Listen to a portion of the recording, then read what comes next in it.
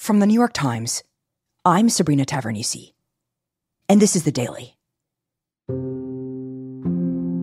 The nation is waking up to a new reality after former President Donald Trump was injured in an apparent assassination attempt. Gunshots ripping through a Pennsylvania campaign rally and carving their way into the history books. I heard pop, pop. I think a lot of people in the crowd just thought it was fireworks going off. I knew immediately it was gunshots. And everybody's screaming drop, and you can see the blood like splatter on his face, and the Secret Service just barricades him. And, you know, it was just like so scary. Today, Senior law enforcement officials say the gunman was a 20 year old man from Pennsylvania. The gunman was on the roof of a building several hundred feet from the lectern where Trump was speaking. What we know about the attempted assassination of former President Donald Trump at a rally in Pennsylvania. I just go back to this idea that something has been fundamentally changed. People are desperate for answers to figure out how this could have happened, how to prevent it. My colleague, photographer Doug Mills, recounts what it was like to witness the shooting. And reporter Glenn Thrush on the state of the investigation into the man who did it. It's Monday, July 15th.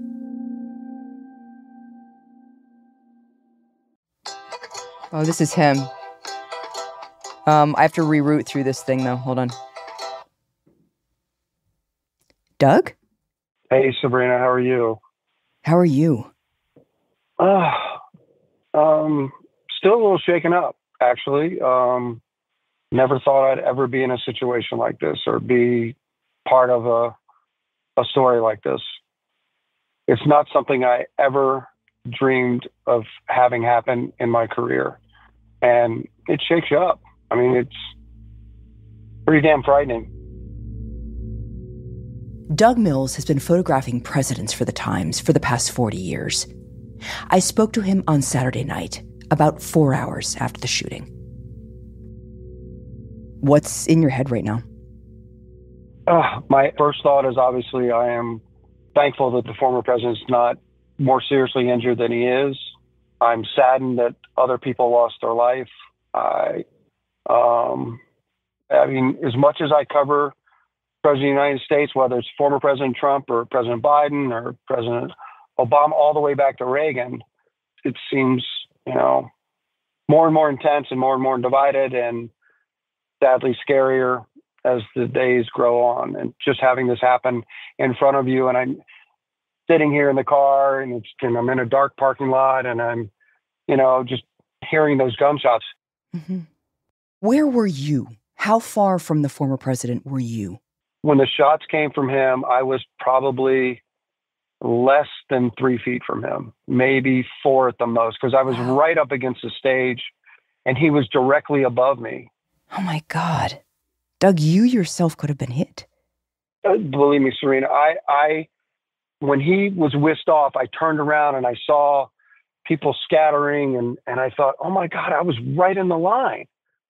My heart was pounding through my chest and I was shaking and, you know, I was just like, I can't believe this happened. So tell me exactly what you saw through your camera lens, Doug. What were you looking at right before? And then what did you see exactly at the moment that it happened? I was focused on the president as he was making his remarks. There was a huge flag, American flag above him flying. I was trying to do something that showed him on the podium and him with the flag up there. And I was in the right moment as far as concentrating and being right there so I could see him. And then the former president was making remarks. He was gesturing towards his right and when he put his hand out to gesture, take a look at what happened. There were these three or four loud pops, and I just kept taking pictures, and it all became a blur. I just kept my finger on the shutter. And then he grabbed his ear and then fell from behind the podium. I didn't see him in, behind the Trump sign, and I ran to the left to try and see what was going on. And by that time, he was being covered by the Secret Service, and there was a lot of yelling and pushing, and you know, just them trying to protect him and getting over top of him. I, I, I'm positive I heard them say, "Sir, sir, sir," you know, and I think they were just trying to see how bad he was he was hit. And after that, it was very chaotic. There was a lot of like, "Move back, get out of the way, move back." Did you know where the gunman was? No, I only knew that the pops came definitely from my left ear. I could hear it very loud. So I assume that's where they came from. And did that person continue to shoot? I thought I heard maybe two or three more shots.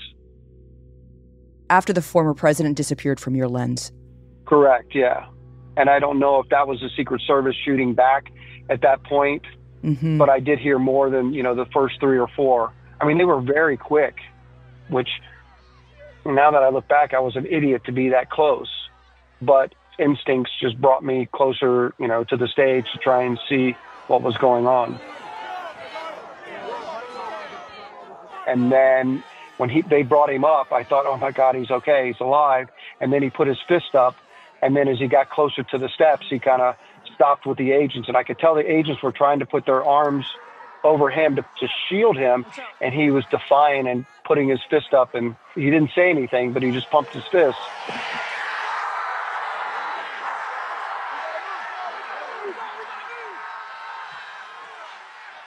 What did you think when you saw Trump do that? You captured that moment. What did you think Oh. when he did that? Oh, I was he was just so just pissed off, like defiant. That's all that I could think of is God, he's mad as hell. Hmm. He is really mad.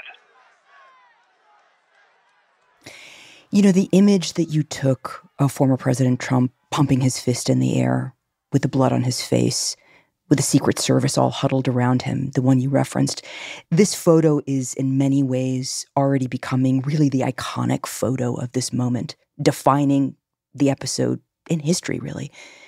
Did you know immediately that would be the case?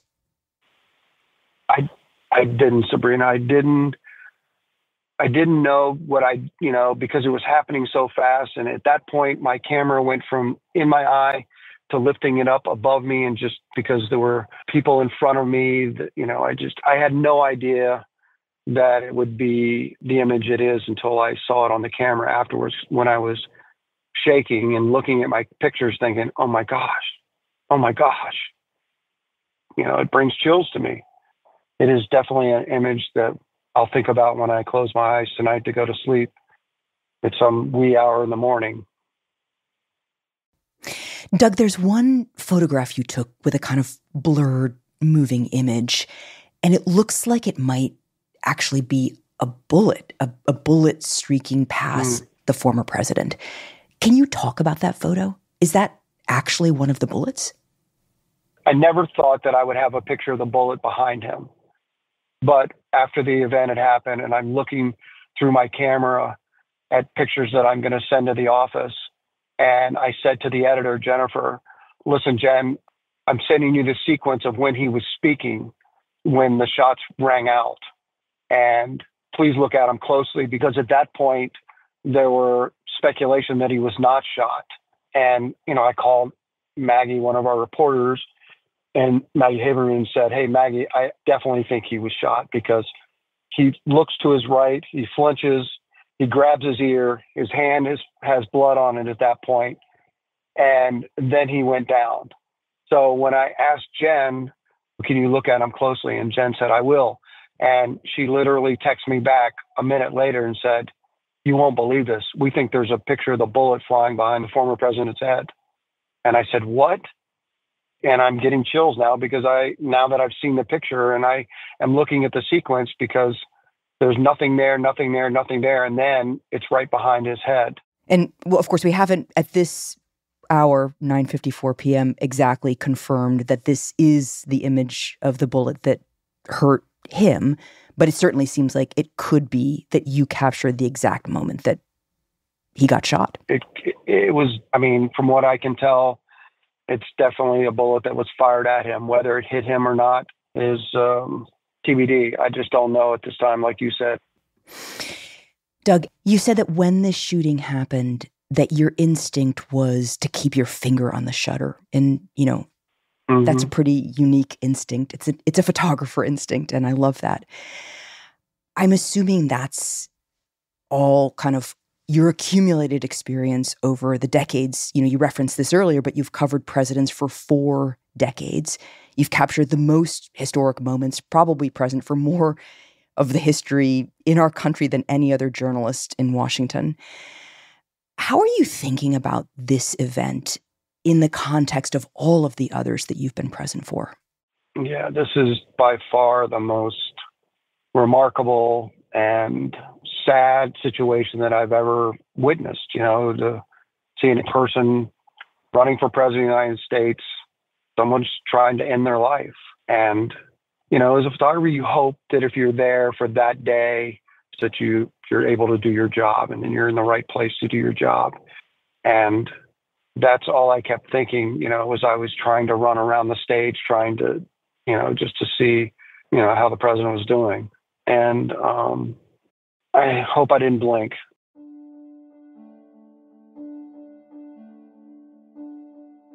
I hopefully captured what happened, and that's what my job is to record history.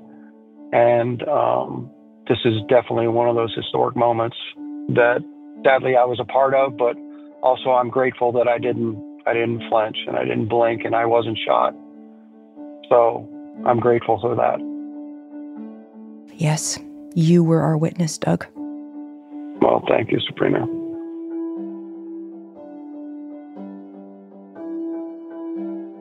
We'll be right back.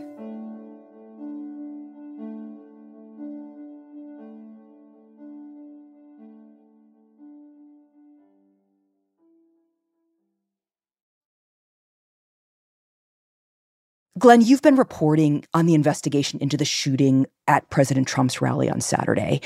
We're talking to you at 4:55 p.m. on Sunday. Before we get to the details of what's been found so far, what do we know about how Trump is doing? How he's been in the hours since the shooting? Remarkably well. Well, it was sort of shocking on television. You could see the blood splatter across his cheek. It was an injury on his ear, but his injuries were relatively minimal. He was cleared at a local hospital, flew back to his golf resort at Bedminster in New Jersey, and has made it entirely clear that he doesn't have any intention to skip the Republican National Convention in Milwaukee this week.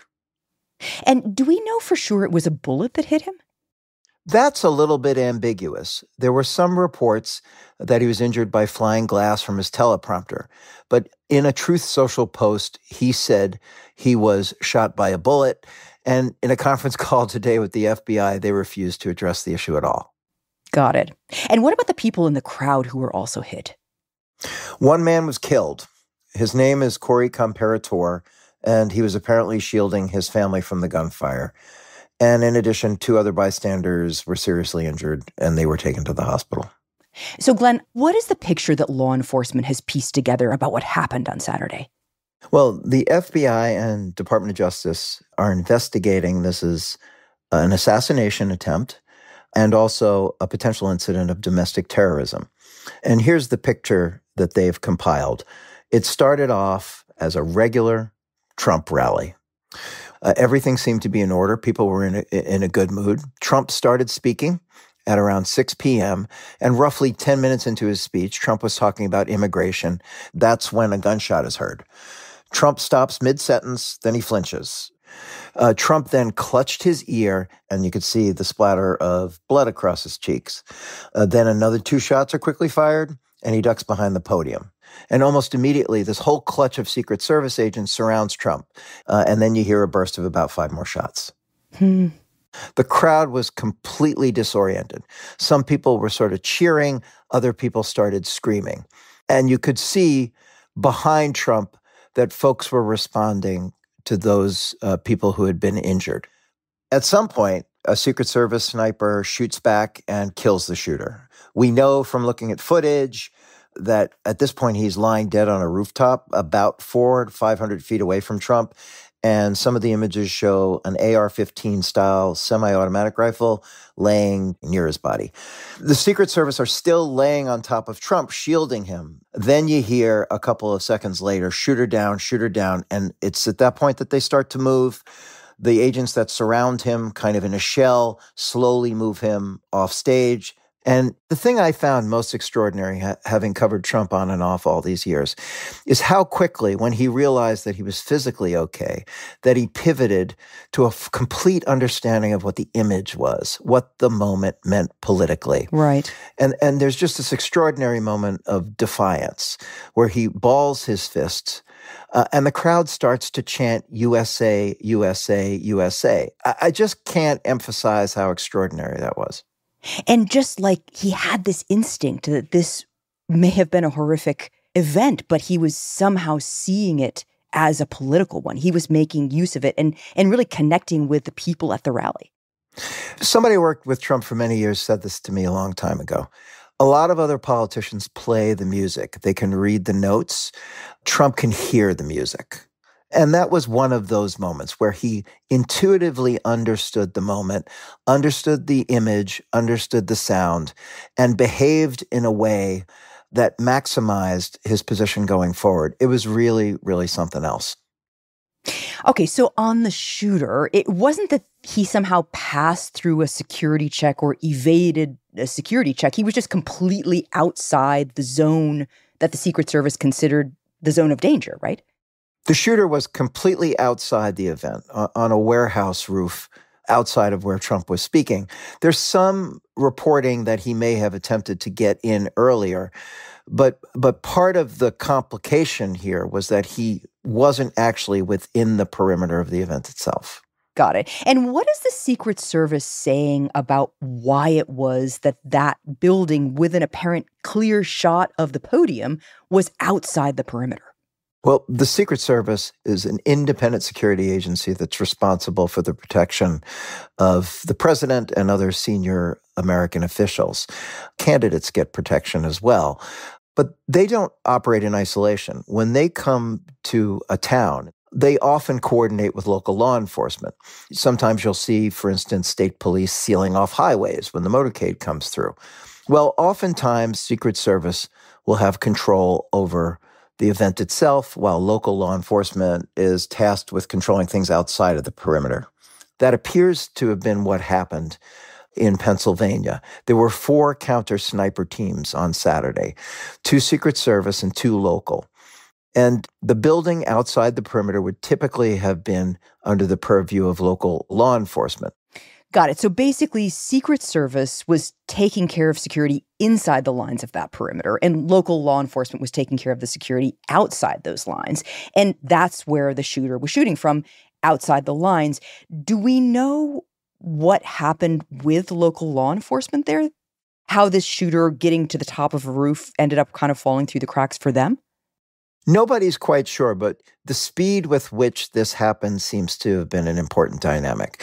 It wasn't like this guy was camped out for hours. It appears that he scrambled up onto the roof of the warehouse, moving rather quickly, and planted himself and then fired. So there wasn't a lot of time for law enforcement to react, apparently. And what do we know so far about the shooter? What have investigators learned? His name is Thomas Matthew Crooks, he is 20 years old. He's from Bethel Park, Pennsylvania, which is about 40 miles from the scene of the shooting. He was generally regarded in school as a quiet, intelligent guy, and he'd been working as a dietary aide at a local nursing home. And investigators told us that he was interested in chess and that he had recently taken up computer coding. And what did the authorities say about his motive? They don't know. That is the big question. The public record is very scant. He is a registered Republican. This would have been his first presidential election voting. Hmm. And it appears that he gave $15, according to some reports, to a group that generally identifies as liberal. But mostly, I would say investigators are exasperated by the lack of any kind of directionality in terms of what his motivation or political beliefs have been. He has, for instance, not written any kind of a political manifesto. And there aren't even a, a, a, trail of social media posts to, to fall back on. They're really hoping that once they are able to breach his cell phone, that that will unlock a trove of information that will point them in the right direction. But he really is uh, an enigmatic character right now. Do authorities think his attack was highly planned? And is there any indication that more attacks were planned? Nobody really knows. The gun that he used was purchased by his father. Authorities are not clear whether or not his father gave it to him, lent it to him, or if he took it from his father. But they don't believe his father bought it on his behalf. What they did find were some explosive devices. There were apparently some canisters found in the car that he had been driving, which served the purpose of delaying the investigation for hours and hours yesterday um, as the bomb squad removed and deactivated these devices. Mm. And a law enforcement official told me that there was also a suspicious device found at his residence. Hmm. So he clearly had some knowledge of both firearms and explosives, but they aren't sure where he picked it up and what he intended to do. So, this, of course, as you know, is the first time in about 40 years that a current or former president has been wounded in an assassination attempt. Ronald Reagan, of course, was shot in 1981. What fundamentally went wrong here? Is there any way to see this other than as a colossal failure by the Secret Service? I think uh, this is going to be regarded as one of the darkest days in the history of the Secret Service. Now, all of us who have covered the White House have traveled with agents, a tremendously high level of professionalism, and the job is difficult, bordering on impossible at times.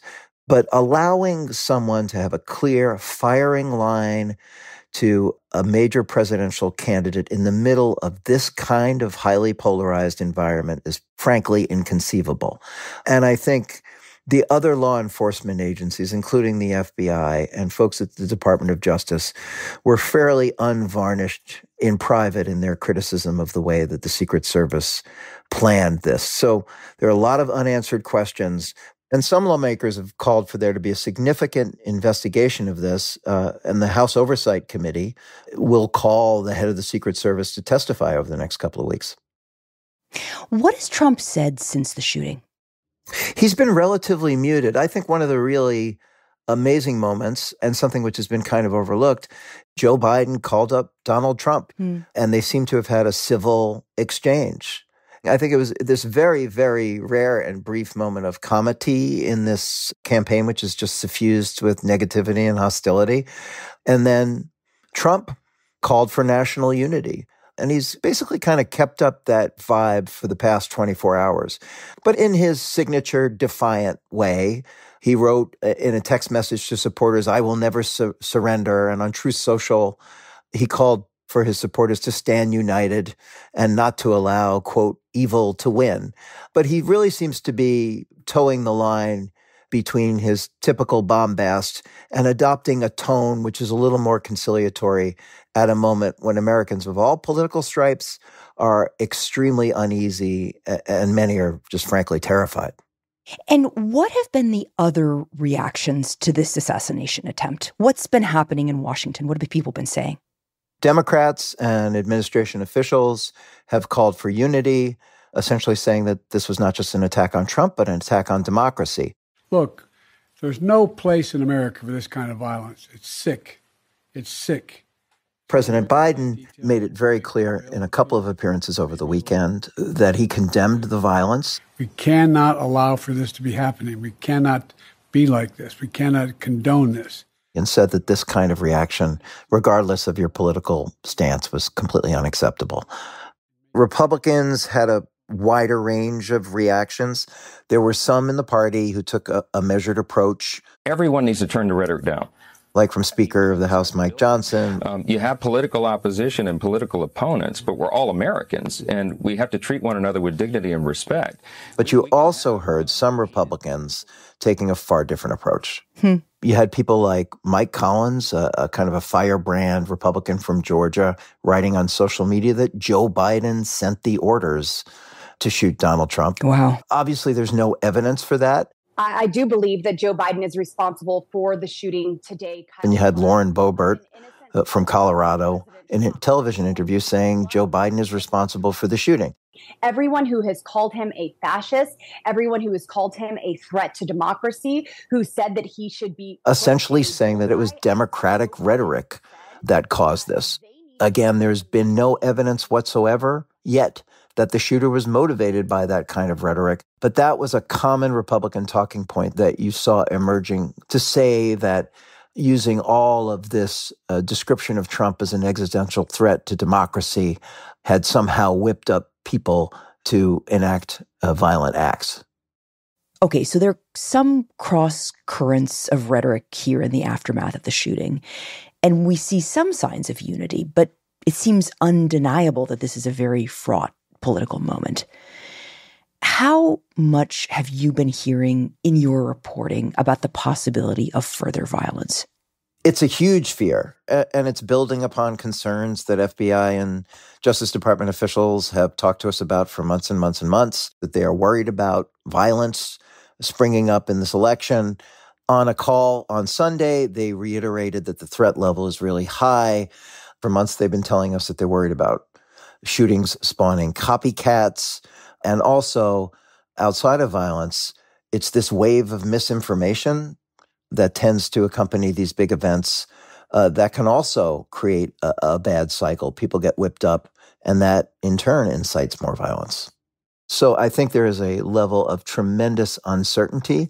And political conventions, as we have seen in years past, are a, a gathering point for, for all kinds of folks, mostly people who are engaged in peaceful protests, but it's also uh, been catalytic for individuals uh, who want to create all kinds of problems. I, I, think if there is a silver lining, it is that uh, this near miss, this near national catastrophe, uh, has alerted law enforcement agencies, particularly the Secret Service, um, to to up their vigilance to the highest possible level. So, uh, to a certain extent, like a, a near miss of an airliner potentially crashing, it might have the positive impact of, of having people pay more attention at a time uh, of what appears to be maximum danger.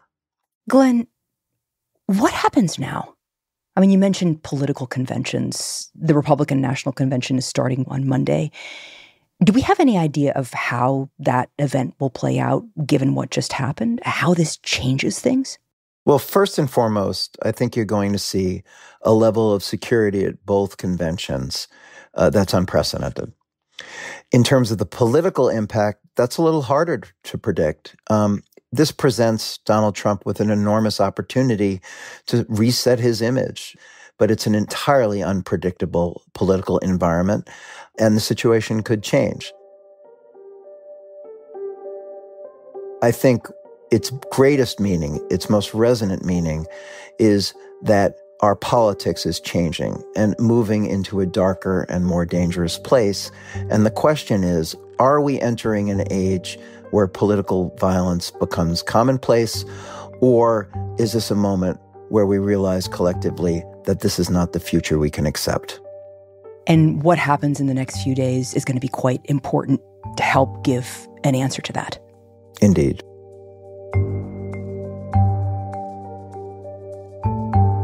Glenn, thank you. Thank you.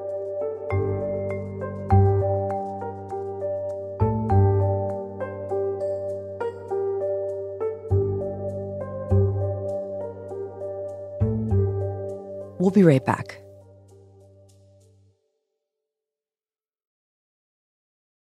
Here's what else you should know today. On Saturday, Israel conducted a major airstrike in the southern Gaza Strip that it said targeted Hamas's top military commander, who was allegedly one of the architects of the October 7th attack on Israel.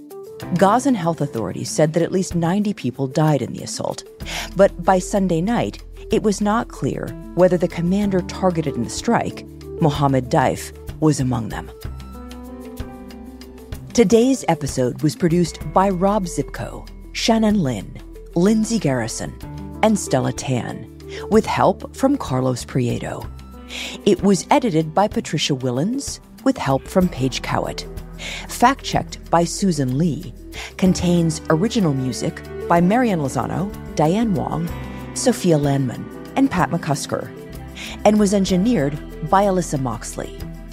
Our theme music is by Jim Brunberg and Ben Landsverk of Wonderly. Special thanks to Beth Flynn, Simon Levian, and Jessica Metzger.